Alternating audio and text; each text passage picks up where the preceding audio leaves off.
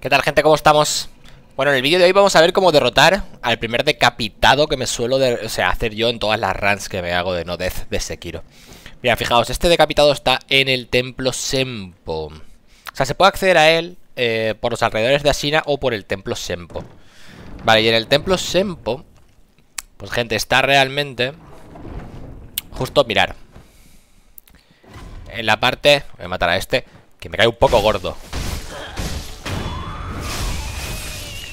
Mirad, os voy a enseñar el camino para llegar a él.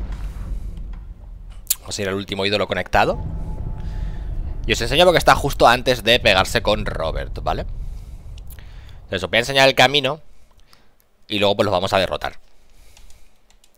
Ahora os contaré, vamos a hacer primero el camino, os cuento cómo llegar y luego os cuento cómo derrotarlo, la estrategia. Entonces fijaos, lo que vamos a hacer es ir al templo Sempo a... Sugendo, ¿vale? Porque Sugendo es justo la zona que está previa a donde está Robert. Entonces ya que aprovechamos así, os enseño también cómo limpio yo esta zona. Básicamente, ¿vale? Mirad, esta zona lo primero que hago es me tiro por aquí abajo. Porque tirándonos por aquí abajo, lo que conseguimos es que este cebollita de aquí baje y no nos bloquee, ¿vale?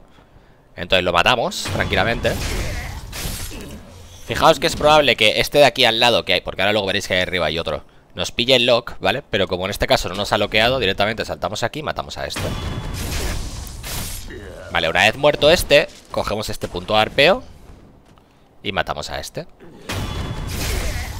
Vale, y una vez muerto este, pues básicamente nos subimos aquí, nos enganchamos aquí, vamos hacia la izquierda y mandamos a este a Narnia. Y ya con los cuatro muertos, sencillito, ¿verdad? Pues ya directamente nos vamos a la zona donde realmente está Robert. Que sería aquí, ¿no?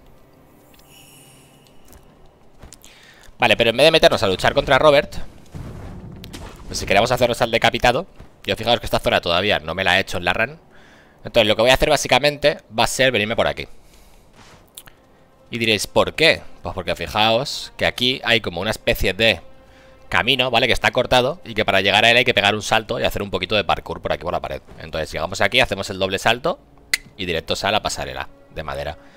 Vale, y entonces, ¿ahora qué hacemos? Pues fijaos, aquí, si miramos ahí hacia abajo, tenemos como una especie de agarradera, ¿vale? Nos podemos agarrar. Entonces la idea es, nos agarramos aquí, vamos hacia la izquierda, subimos por aquí, y aquí ya directamente subimos. Y ahora ya, gente, solo nos queda subir por aquí, por esta pared, pues haciendo un poco de... el melón. Vale, fijaos que aquí hay un par de lagartos que voy a cepillarme. Porque si no nos envenenan, ya sabéis.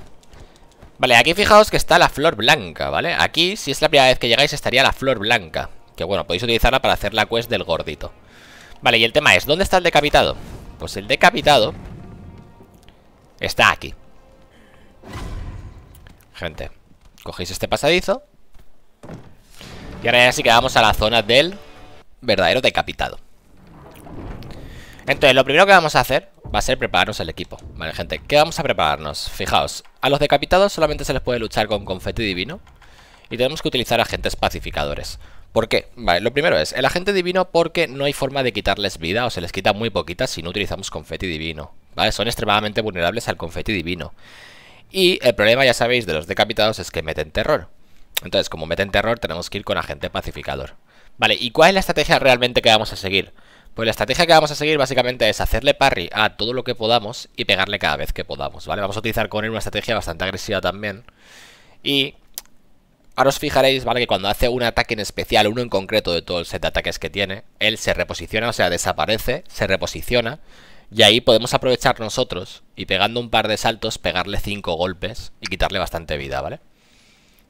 Entonces vamos a avanzar toda esta parte, ya estando aquí, porque el decapitado está justo ahí ya, gente. O sea, justo detrás de esa, de como esta estatua, ¿vale?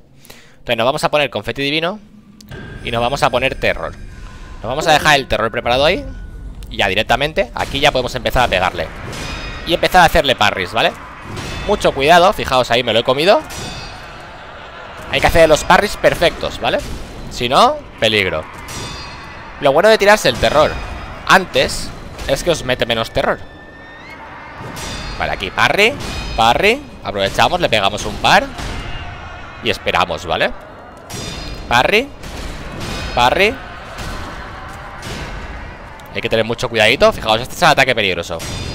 Eso, gente, o le hacéis parry perfecto o os mata. Entonces ahora cogemos dos saltos y ya directamente no lo bajamos, ¿vale? ¿Qué sería lo inteligente ahora? Tirarnos para atrás, meternos una de terror, tirarnos un confeti divino y ya empezar a jugar con él, ¿vale?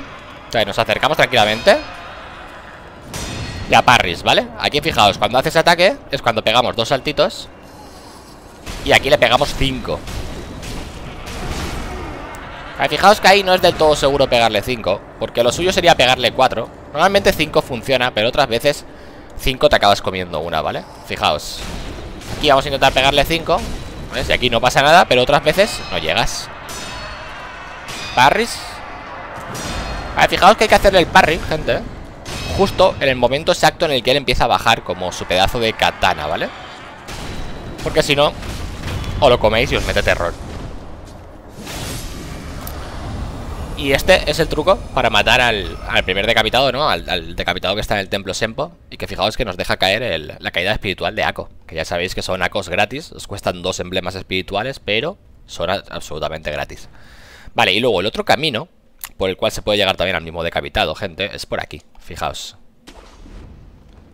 Hay varios caminos, de hecho Por donde se puede llegar. Uno de ellos es por aquí Que aquí salimos ya directamente a los alrededores de Ashina. Aquí tenemos que saltar aquí Cogemos el puntito de arpeo Cogemos este puntito de arpeo Este de aquí Y fijaos que llegamos a esta zona Que yo, no os creáis que la descubrí hace mucho La descubrí hace poco Y aquí fijaos que tenemos algunos objetos Antídoto y tal y lo curioso, ¿vale? Es que ahora cuando abrimos la puerta Esta puerta da justo a arriba de la lucha que hacemos con el ogro Fijaos Curioso, ¿verdad? ¿Os suena esto de algo? ¿Os suena esto de algo, gente? Así es. Entonces por aquí... Por aquí no se puede llegar, obviamente, ¿vale? O sea, porque esta puerta está cerrada Pero sí se puede llegar por aquí Vale, de hecho, por eso cuando empecéis a jugar Aquí está el cartelito que pone lo de que... Pues fijaos lo que pone Dice, márchate si aprecias tu vida No puedes decapitar a quien no tiene cabeza Nuestras armas fueron inútiles Claro, lo que pasa es que cuando tú empiezas el juego básicamente no tienes... No tienes confeti suficiente, ¿vale?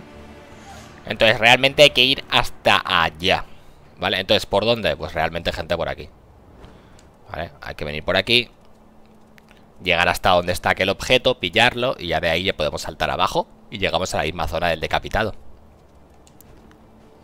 Vale, por aquí Cogemos el objeto Nos tiramos Un poquito de romperse las piernas Let's go y aquí pues llegamos a la misma zona, pero por otro camino. Pero fijaos, vale, que aquí llegamos al mismo sitio.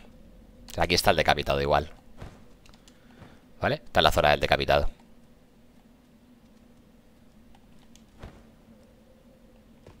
¿Vale? El decapitado estaría aquí, realmente.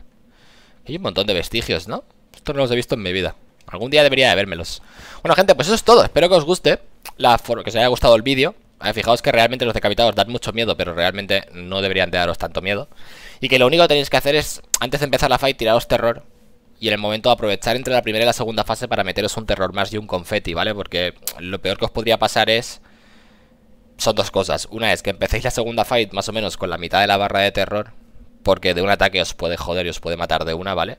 Porque cuando hace, por ejemplo, el ataque así giratorio, directamente te mata de una. O sea, te mete tanto terror que te mata de una. Y luego la otra putada sería quedado sin confeti divino.